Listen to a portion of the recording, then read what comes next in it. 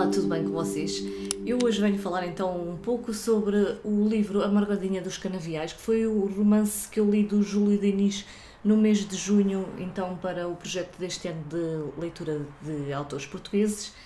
E o Júlio Diniz escreveu A Margadinha dos Canaviais quando ainda tinha apenas 29 anos, e eu digo isto apenas porque eu penso que aos 29 anos pelo menos nos dias de hoje, ainda há uma grande margem de evolução como escritores, mas infelizmente este escritor, Júlio Diniz, morreu apenas com 31 anos, portanto, ele quando escreve aqui a Margadinha dos Canaviais está praticamente no final da sua vida. Ele tinha um grande problema de saúde com a tuberculose e acabou por morrer então ainda bastante novo. Ele nasce então ali no século XIX, em 1839 e este livro é de 1868. Júlio Diniz é aqui o pseudónimo do seu nome verdadeiro, que era Joaquim Coelho.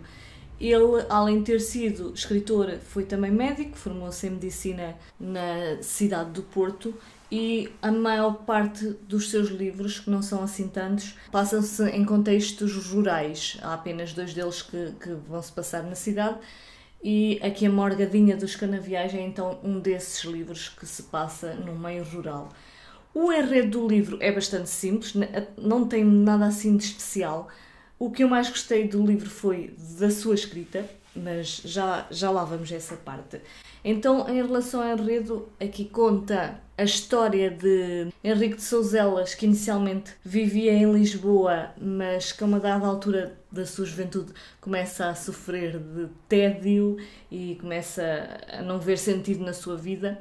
Ele vai ao médico e o médico aconselha-o a mudar de ares, a viajar e é então que ele decide ir visitar uma sua tia que mora numa aldeia do Minho e vai fazer então essa viagem a essa aldeia, visitar essa tia por uns tempos, a tia Doroteia. E o livro começa então nesse momento em que ele está a chegar ali à aldeia do, do Minho. Ele leva ali um acompanhante e está ansioso por chegar à casa da tia. Nesse dia chove bastante, ou tem chovido muito nesses dias. Ele não vê a hora de chegar. E neste momento inicial do livro, eu comecei logo a achar o tipo de escrita deliciosa, o vocabulário que é utilizado e a forma como ele descreve coisas tão simples dá um toque especial à escrita do, do Júlio Diniz.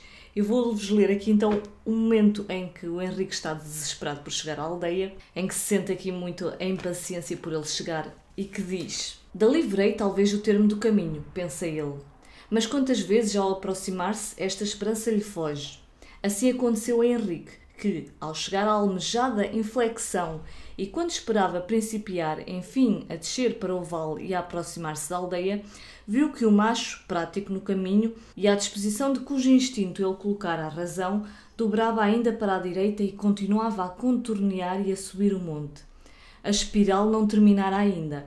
Henrique olhou em torno de si, profundou a vista nas sombras do vale, nada pôde descobrir que lhe prometesse a aldeia procurada. Muita árvore, povoação nenhuma. Teve um paroxismo de impaciência. Isto não é estrada, exclamou ele exasperado. São os nove círculos do inferno de Dante virados para fora. Isto faz alusão então aqui a um, um dos livros que eu mais anseio ler um dia, que é então a, a Divina Comédia do Dante.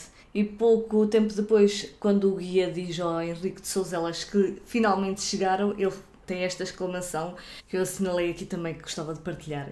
Até que enfim, exclamou Henrique, suspirando. Suspiro de conforto e de tristeza ao mesmo tempo, como o de homem cansado da vida, quando antevê o repouso do túmulo. Em Henrique era íntima a convicção de que a quinta de Alva Penha lhe havia de servir de cemitério. Lá está, a história, o enredo desta história não vai ser nada de especial. É um enredo que não tem nada assim de muito surpreendente, mas estes momentos, eh, este tipo de escrita, estes pormenores, para mim foi o que trouxe interesse ao livro e à escrita do Júlio Diniz. Quando o Henrique de Souzelas chega à aldeia, ele começa a ouvir falar muito da tal morgadinha dos canaviais que dá título ao livro que é então a Madalena, e começa a, relacionar-se com ela. Nós descobrimos logo ao início que ela tem uma certa relação familiar com a, a família do próprio Henrique de Souzelas, com a tia Doroteia do, do Henrique de Souzelas. Ele começa então a dar-se muito com a Madalena, começa a fazer-lhe galanteios a torto e a direito, porque ele apaixona-se desesperadamente por essa morgadinha, apesar dela não lhe dar qualquer tipo de esperanças e de lhe estar sempre a dar para trás indiretamente. Mas o Henrique de Souzelas, apesar disso, mostra-se um género completamente convencido, arrogante.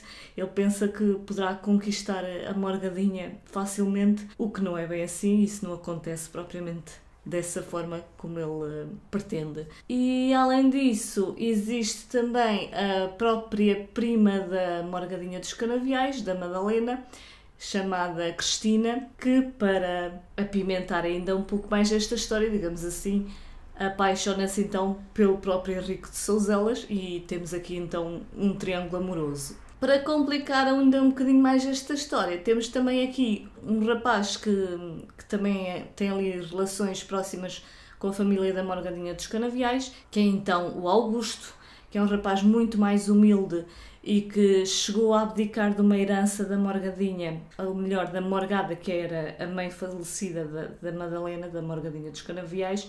Ele abdica então de uma herança para se tornar professor ali da aldeia e é um rapaz então muito mais humilde.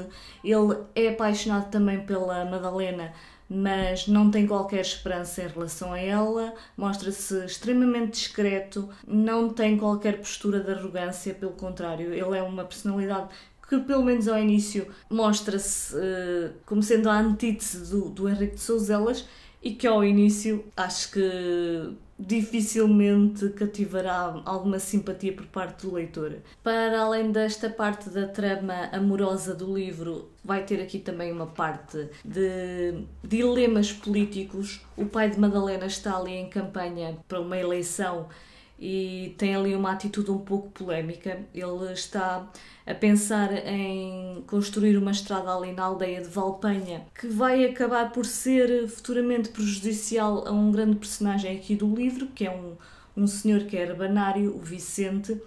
Esse senhor tem uma alma muito sensível, ele é muito apegado às, às árvores da sua quinta e vai então ver-se ameaçado pela possível construção desta estrada por uh, puros interesses políticos. Ainda por cima, aqui o Sr. Vicente era um grande amigo da família da Morgadinha e do pai da, da Madalena, que está então a fazer essa campanha, e há então aqui um, um conflito para resolver.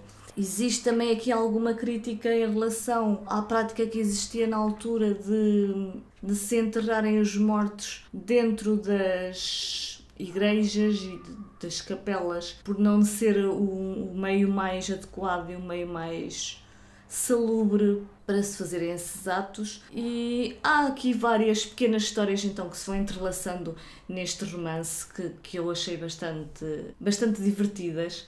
Há um outro personagem também bastante engraçado, como por exemplo aqui o Sr. Pertunhas, Bento Pertunhas, que tocava trompa na filarmónica da aldeia. E há aqui uma passagem que eu também quero destacar e partilhar convosco, porque achei super engraçado aqui o vocabulário que é utilizado na descrição deste Bento Pertunhas. E nesta passagem vamos ter então a descrição de, dos vários músicos que compunham ali a banda da aldeia, com um vocabulário espetacular mesmo.